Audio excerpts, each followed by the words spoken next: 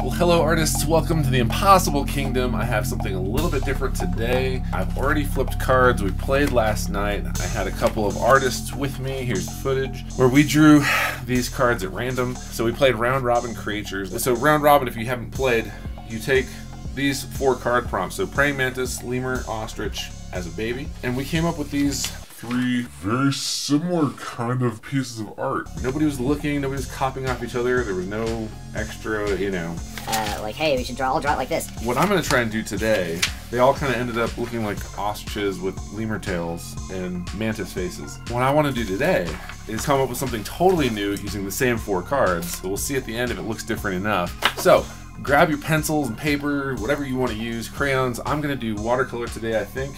And if you're to do watercolor stuff and you're doing black, make sure that you have stuff that doesn't run in water and bleed all over the place. I'm to be using my thick watercolor paper and watercolor crayons to come up with something that uh, that I like. I'm to do a, a quick preliminary sketch on here, and then we're to jump right into coloring and get you out of here. So pick up your art stuff, your crayons, your color pencils, open your imagination, and let's get started. Think the first thing I'm gonna try and do is make sure that this lemur face is the dominant thing. And then the body, I think the body needs to be the praying mantis body. So it's gonna be a longer body like this, and then the like monkey lemur kind of head on here. He'll have these cool eyes. You can still, maybe you can still have this. I don't know. You know what? Maybe he'll have the that. He'll have the ostrich beak. Ostrich beak. We'll have these lemur looking monkey eyes, the coloration of this, and then as a baby. Man, how am I gonna do that? Alright, I need to sketch this a little bit. Maybe it has a lemur lemur tail as the that looks like a bumblebee now. Alright, I'm gonna redraw this. I don't like this. And it's okay to not like what you're starting to draw, obviously. Yeah, it's kind of funny. The the go-to is just ostrich body, lemur tail, long neck. That is easier. And then you have the ostrich. Yeah, that's that's pretty much what we drew. So if we're gonna draw a baby, what does a baby version look like? A baby with a pacifier and big googly eyes that everybody adores. I don't know what face that goes on though. Let's just look at a person's face. Okay, so if it has an ostrich head, then maybe this long neck and then it'll be standing. So maybe it'll be standing. Okay, see what we got here. So if I have this this thing standing up here, like this lemur, then it has a big tail. It's gonna have a diaper on. It'll have a diaper, and then these legs can still be the ostrich legs with praying mantis feet. All right, that's kind of cool. It has these ostrich bird legs. Looks like high heels or something. Alright, that kind of works. I like that. Okay, so if it has that, and then it needs an ostrich tail poking out of here. So the ostrich tail, it has these big plumage of, of stuff like that. And then maybe this, uh, maybe he's looking the other way. Because ostriches can do that. Okay, so he's standing this way, and he's looking back this way. It has these praying mantis gigantic eyes with eyelashes because it's a baby. So these need to be filled in. It's gonna have this big, big praying mantis eyes, and then it's gonna have the uh, bill straight off of that, something like that. And then, gosh, is weird.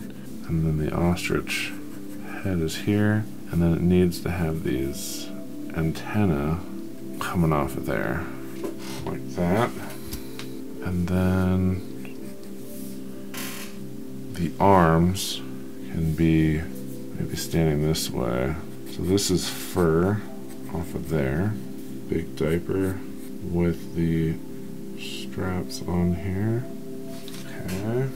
And then the praying mantis arm will be the segmented doodad here, like that. Little baby. Okay, and then this neck will start the fur patterns of the lemur. Okay.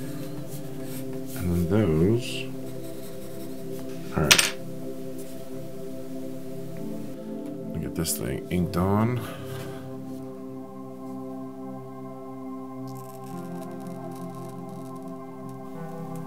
Just thought of something cool.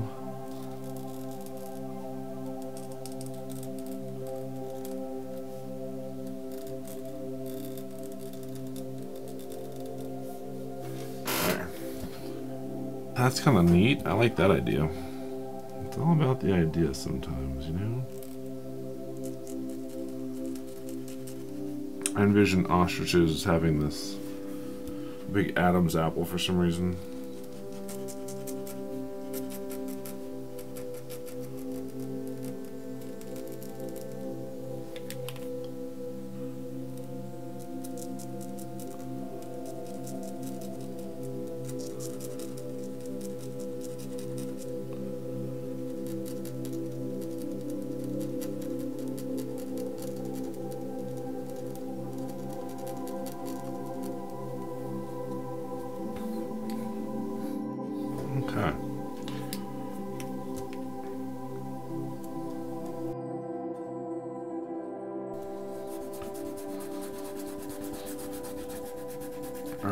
Just gonna erase some of this.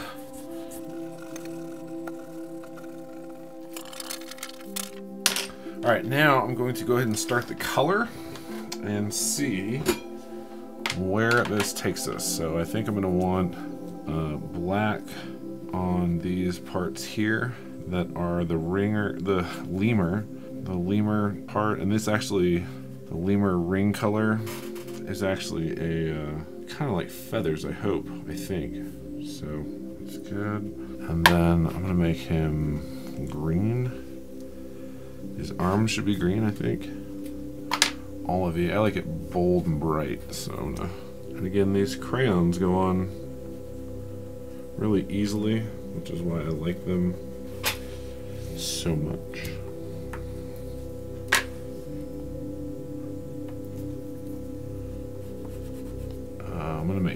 Beak green.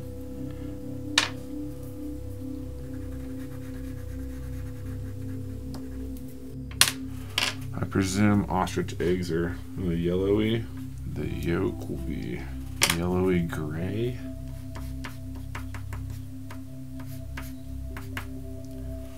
And then this diaper blue. Little tear will be blue. And then uh, diaper will be diaper will be purpley. And then I'm not positive what color to make the body. Maybe it just stays white. I don't know. Maybe a real light brown color, just so it has some color. Like that maybe. And then face yellowy up there. Alright, I'm gonna throw some color on here and see what we can do. So, anytime I'm using these watercolor brushes here, I like to make sure I have plenty of water, obviously. I'm gonna start with the light, light colors up here. Yeah, that works. Just kind of a, something so it's not a bright white looking feathers here. Move on to this egg. Now this egg is like neon yellow here. Eggy goop is there. Now I'm gonna go to the blue, this tear, and purple diaper. That's fun. I'm gonna leave the band white. I didn't line the back of his butt back here. I'm gonna do this green.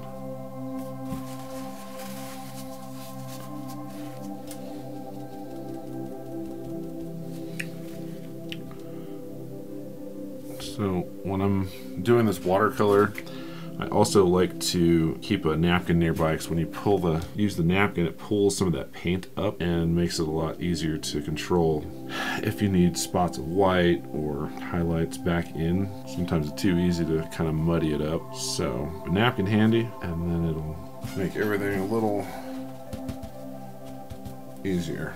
Has a lot of water, so I'm going to go back in with this black and uh, black crayon. Try not to make it too dark but you definitely want to imply that you have the lemur rings on here.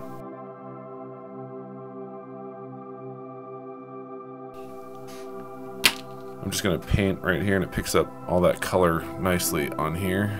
So you can see it's gonna lay down a bunch of color here. It's gonna be bright red. This stuff gets pretty opaque actually.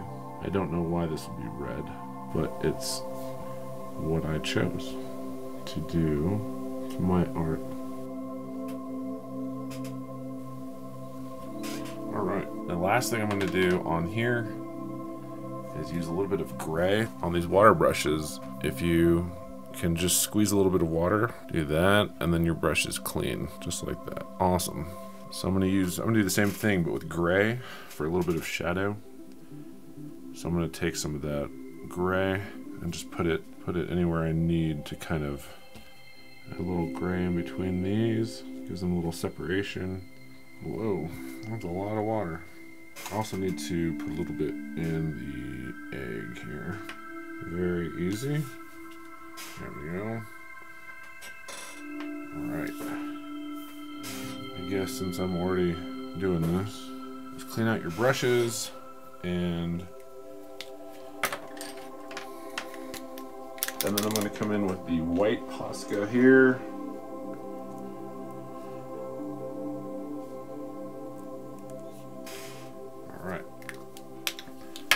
So that's about all I'm going to do on this ostrich lemur mantis baby. And I hope you had fun. Everything that you drew, anything you drew, is going to look very different than any of these, and I'm happy for that. Uh, part of this exercise for me was just seeing how different of art, regardless of skill or time or any of that stuff, how far. Like if you spent four hours doing one of these, how how good would that look to you? Your style and skill is totally separate and unique to you. And that's kind of what I want is for you to open your imagination and let out whatever is inside, whether they're kind of similar to something else or whether you drew something similar to that I drew today or something totally unique. I'm really excited to see what you have and I hope that you keep going, keep doing your art, even if you use similar tools each time. I hope you love it. So again, thanks for uh, thanks for watching. See you next time.